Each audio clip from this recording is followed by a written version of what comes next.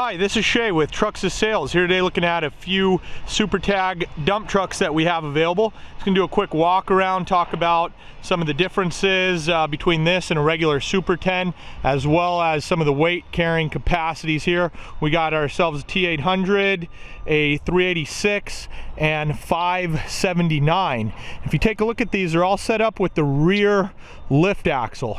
So this is an option that we're offering on conversion trucks that, that's a little shorter than the new trucks that we order.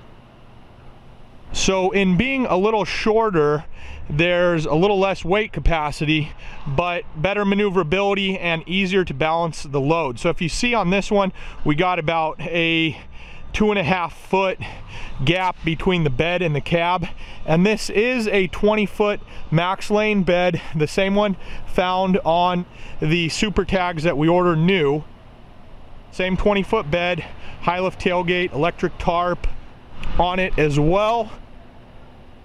So the main difference between this truck and the one that hauls 19 tons that we sell new is the length. It's about two foot shorter and these ones have big block engines. So they have 15 liter engines, which weighs about 1,800 pounds more than the 9 liter that we order in the new Super Tag dump trucks. So you add those two things together and you're hauling uh, just about two less tons on these. So instead of 19 tons, you're right at about 17 tons hauling. Regular Super 10 dump truck, you're at about 16 tons, maybe 16 and a half tons with a lighter weight dump body. So that's kind of the difference with uh, these compared to um, ordering new, but still a good option. One more thing I wanted to add about these trucks is this particular max lane dump body, the 20 footer, was designed for hauling sand and gravel, mainly hot asphalt.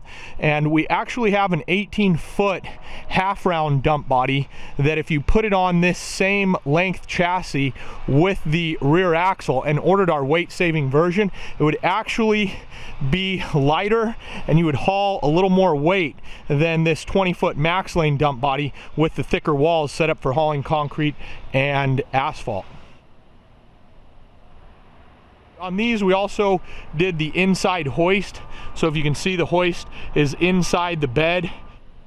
That's less expensive and you don't need it on the outside to get all the, the maximum amount of weight in the front. Because with this smaller gap here between the bed and the cab